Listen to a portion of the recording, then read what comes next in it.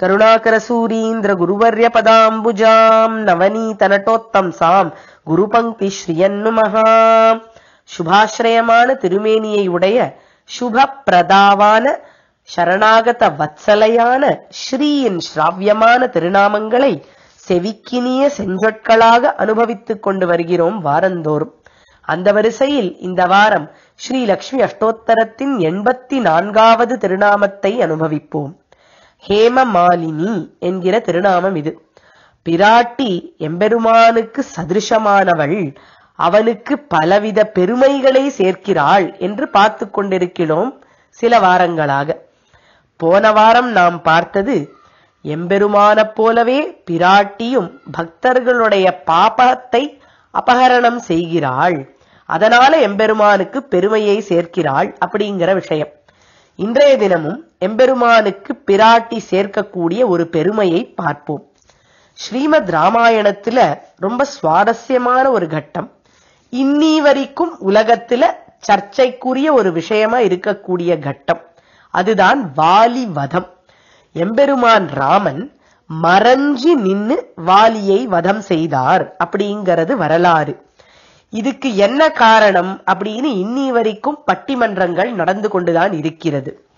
இதுக்கு சமாதானம் ஸ்ரீமத் வால்மீகி ராமாயணத்திலேயே உள்ளது.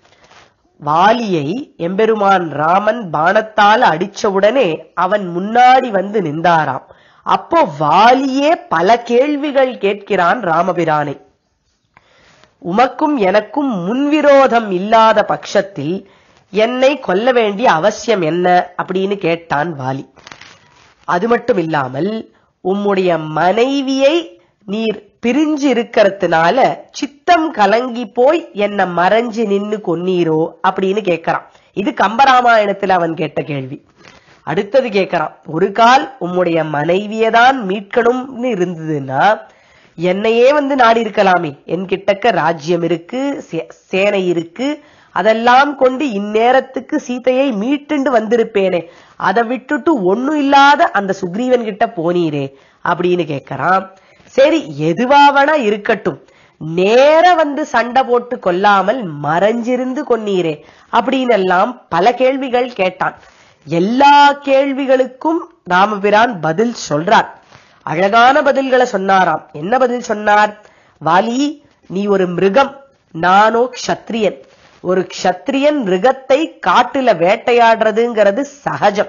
அந்த மிருகத்துக்கிட்ட சொல்லிட்டு தான் வேட்டையாடணும் அப்படின்லாம் கிடையாது. அதனால நான் மறைஞ்சிருந்து கொன்னதுல எந்த தப்பும் இல்ல. இன்னொன்னு இந்த பாரத தேசம் முழுக்க இப்ப பரதனுடைய சாசனத்துல இருக்கு. பாதுகைய கொண்டு பரதன் ராஜ்யம் பண்ணிட்டு இருக்கான் இந்த ராஜ்யத்துல ஒரு- ஒரு அதர்மம் நடந்ததுன்னா அத பரதனுடைய பிராதாவான நான் தட்டி கேட்கும் உரிமையை உடையவன்.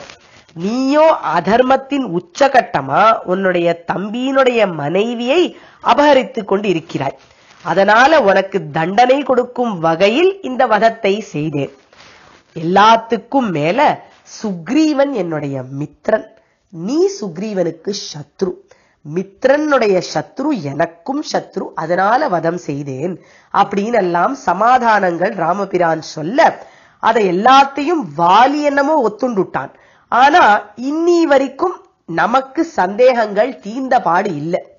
இதுல முக்கியமா வரக்கூடிய ஒரு சந்தேகம் என்ன அப்படின்னு கேட்டா ராமபிரானை பார்த்து கம்பராமாயணத்துல வாலி கேட்ட கேள்விதான். ஒரு கால் உன் மனைவிய விட்டு பிரிஞ்சதுனால நீ சித்தம் கலங்கி போய் அதனால மறைஞ்சு நின்னு என்ன கொன்னாயோ அப்படின்னு அவன் கேட்ட கேள்வி. உன்னுடைய மனைவியை நீ விட்டு பிரிஞ்சு இருக்க. அதனால ஒரு வீரன் என்ன செயலை செய்யணும்னு உனக்கு மறந்து போச்சு. நேரடியா வந்து நின்று சண்டை போடணும்னு மறந்து போய் மறைஞ்சு நின்னு என்ன கொன்னுட்டியா அப்படின்னு அவன் கேட்ட கேள்வி. அதுக்கு எப்படி பதில் சொல்றது?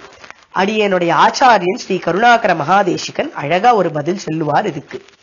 பாலி இப்படி கேள்வி கேட்ட உடனே ராமபிரான் சிரிச்சுண்டே குனிஞ்சி பார்த்தாராம். எதுக்கு குனிஞ்சார்? தலை குனிஞ்சுட்டாரோ? ஒருவேளை வெட்கம் வந்துடுத்தோ? தான் செய்த செயல் தப்புன்னு அவருக்கே தோணிடுத்தோ? அப்படின்னு எல்லாம் பயப்பட வேண்டாம். எம்பெருமான் குனிஞ்சி தன்னுடைய திருமார்ப பார்த்தாராம்.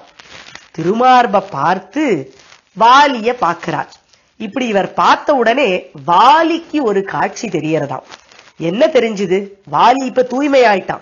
ராம பானம் பட்டிருக்கு முதல்ல அப்புறம் ராம சொற்களை கேட்டிருக்கான் இப்போ ராம கட்டாட்சம் பட்டுடுத்து. அதனால அவன் தூய்மை அடைஞ்சுட்டான். அதனால அவனுக்கு எம்பெருமானுடைய திருமார்பில அழகான ஒரு காட்சி தெரியறது விஜய லக்ஷ்மி வீற்றிருக்கிறா அழகான ஸ்வர்ண மாலையை தரிச்சுருக்காளாம் ஹேம மாலினியாக இருக்காளாம். ஹேம மாலினின்னா என்ன அர்த்தம்? தங்கமயமான மாலையை அணிந்தவள் அப்படின்னு அர்த்தம். இப்படி தங்கமயமான மாலையை அணிஞ்ச லக்ஷ்மி தேவியை எம்பெருமான் ராமனுடைய திருமார்பில வாலி பார்த்தானாம். அப்படின்னு அழகா ஒரு கவி பாடுறார் அடியனுடைய ஆச்சாரியன் ஸ்ரீ கருணாகர மகாதேசிகன். இதிலேந்து என்ன புலப்பட்டது வாலிக்கு? என்ன புரிஞ்சுது? ரெண்டு விஷயம் புரிஞ்சுது. முதல் விஷயம் மனைவிய பிரிஞ்சு சித்தம் கலங்கி அதனால என் மீது மறைந்திருந்து பானம் செலுத்தினானோ அப்படின்னு நான் கேட்டேனே அந்த கேள்வியே தப்பு. இவன்தான் மனைவிய விட்டு பிரியவே இல்லையே. அவள் தான் திருமார்பிலேயே இருக்காளே. இதெல்லாம் ஒரு லீலைதான் அப்படின்னு அவன் புரிஞ்சுண்டானா முதல் விஷயம். அடுத்த விஷயம் இவனுடைய மனைவியினுடைய கழுத்துல என்ன இருக்கு? சுவர்ணமயமான மாலை இருக்கு. அதனாலையும் இவன் ஜெயிச்சான் அப்படின்னு நினைச்சானாம் வாலி. என்ன சமாச்சாரம்னு பார்த்தா வாலிக்கு ஒரு இருமாப்பு இருந்தது. தன்னை யாராலையும் யுத்தத்துல ஜெயிக்க முடியாது அப்படிங்கிற இருமாப்பு. அதுக்கு என்ன காரணம்? வாலியினுடைய தகப்பனான இந்திரன் அவனுக்கு ஒரு தங்க மாலை கொடுத்திருந்தான். அந்த தங்க மாலைய வாலி போட்டுண்டு சண்டைக்கு போனான்னா எதிரியினுடைய பலமானது பாதியா ஆயிடுமா? அதனாலேயே அவன் எல்லா யுத்தத்திலையும் ஜெயிச்சுடுவான் அப்படின்னு அவனுக்கு நம்பிக்கை இருந்தது இதுவரைக்கும். இந்த தங்க மாலையை போட்டுன்றுதான் அவன் எல்லா யுத்தத்துக்கும் போவான். வாலி ஹேம மாலியா தான் எல்லா யுத்தத்துக்கும் போவான். தங்கமயமான மாலையை போட்டுண்டவன் ஹேம மாலி. அப்படி ஹேம மாலியா தான் அவன் எல்லா யுத்தத்துக்கும் போவான். இந்த யுத்தத்துக்கும் அப்படிதான் வந்திருக்கான். சுக்ரீவனோட போடுற யுத்தத்துக்கு. அப்படி இருந்தும் ராமபிரான் கிட்டக்க இவன் தோத்து போயிட்டானே. ஏன்? அப்படின்னு பார்த்தா ராமன் நேரடியா வந்து நிக்கலையே வாலி முன்னாடி. ஒரு கால் வாலி முன்னாடி அவர் வந்து நின்றிருந்தா அவருடைய பலம் பாதியாய் அதனால அவர் தோத்து போயிருப்பாரோ அப்படின்னு நம்ம கேள்வி கேட்கலாம். அதுக்கு பதில் என்னன்னா கண்டிப்பா அவர் தோத்து போயிருக்க மாட்டார். ஏன்னா இவர்கிட்டக்க ஹேம மாலினி அப்படிங்கிறவள் இருக்கா. ஹேம மாலினி அப்படிங்கிறவள் யார்? லக்ஷ்மி. லக்ஷ்மியை உடைய நாராயணன் இவர். இந்த நாராயணன் கிட்டக்க எவ்வளவு பலம் இருக்கும் அப்படின்னு கேட்டா அசீமிதமான பலம் இருக்கும். எல்லையில்லாத பலம் இருக்குமாம். ஆங்கிலத்துல இன்ஃபினிட்டி ஸ்ட்ரெங்க் அப்படின்னு சொல்லுவா. இன்ஃபினிட்டி பலம் ஒருவன் கிட்டக்க இருந்தா அவன் இந்த வாலி முன்னாடி வந்து நின்றா அவனுடைய பலம் இன்ஃபினிட்டி டிவைடட் பை டூ ஆயிடும். பாதி ஆயிடும். இன்ஃபினிட்டி டிவைடட் பை டூ எவ்வளவு? அதுவும் இன்ஃபினிட்டி தான். அதனால ஒரு கால் ராமபிரான் நேர வந்து சண்டை போட்டு இருந்தாலும் அவனுடைய பலமெல்லாம் குறைஞ்சிருக்காது. அவன் ஜெயிச்சிருப்பான்.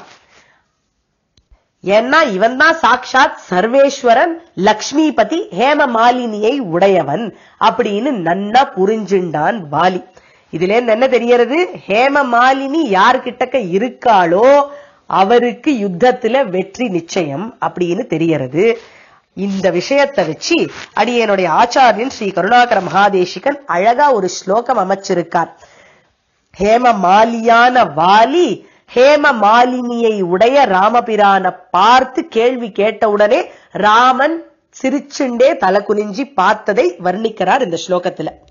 ஹேம மாலின்ய சாநித்யாத் ஹேம மாலின இதி வாலி ஸ்மிதம் ராமஸ்ய ரக்ஷது.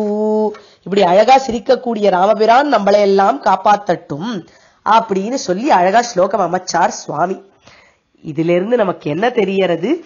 எம்பெருமான் ராமன் எப்பொழுதும் சீதையை ஹேம மாலினியாக தன்னுடைய திருவுள்ளத்திலேயே வச்சின்றிருந்தான். இப்பேற்பட்ட விஜயலட்சுமியான ஹேமமாலினியை எப்பொழுதும் நாம் மனதிலே வச்சு தியானம் பண்ணினால் நமக்கு எல்லா காரியங்களிலேயும் வெற்றி நிச்சயம் அப்படிங்கறதுல சந்தேகம் இல்ல ஹேமமாலினி அப்படிங்கிற திருநாமத்துக்கு அடியனுடைய ஆச்சாரியன் ஸ்ரீ கருணாகர மகாதேசிகன் அருளி செய்த நிருக்தி ஸ்லோகம். ஹேமைவ கிருப்தாமி ஹமாலிகாம்யா பிபர்த்தி நித்யம் மகிதாம் ரமேயம் तद्धेममालिन्यभिधा समेता विभाति वध्या कमलाब्धिकन्या।